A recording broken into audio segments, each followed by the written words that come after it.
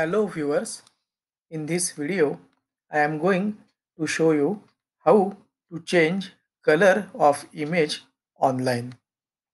For this purpose go to google.com and in Google search window type image change color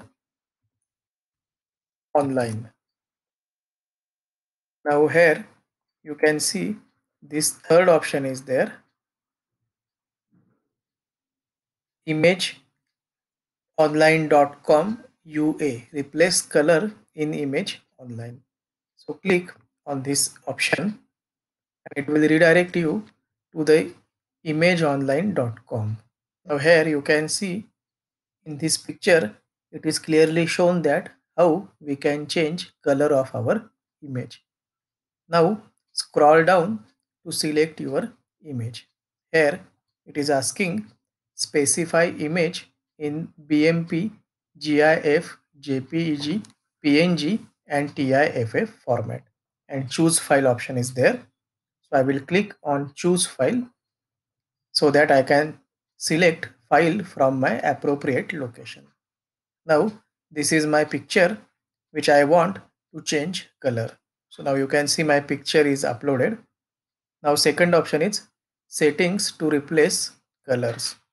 So here color that should be replaced.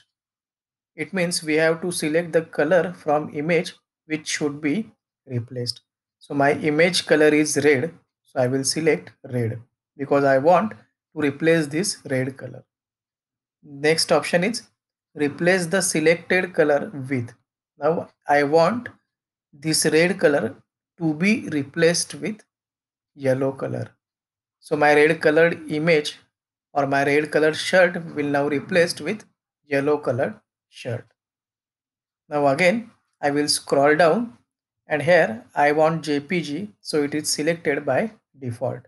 Now I will simply click on this OK option and my image will get changed from red color into yellow color. Now it is showing OK processing completed successfully. Open processed image download processed image and go back. So now I will click on download processed image so that I can show you how the change of color is there in my image. So I will just open it in my downloads. First of all, we need to copy and paste the image at respected location.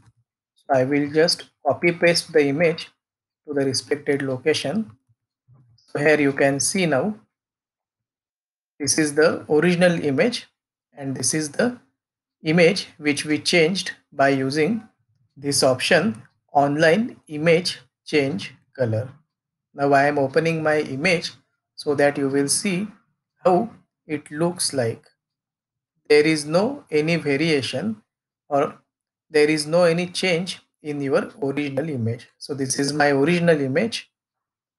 Now this is my replaced color image. You can see how clear it is. There is no any change. It is looking like an original picture. So this is how we can change image color online. Thank you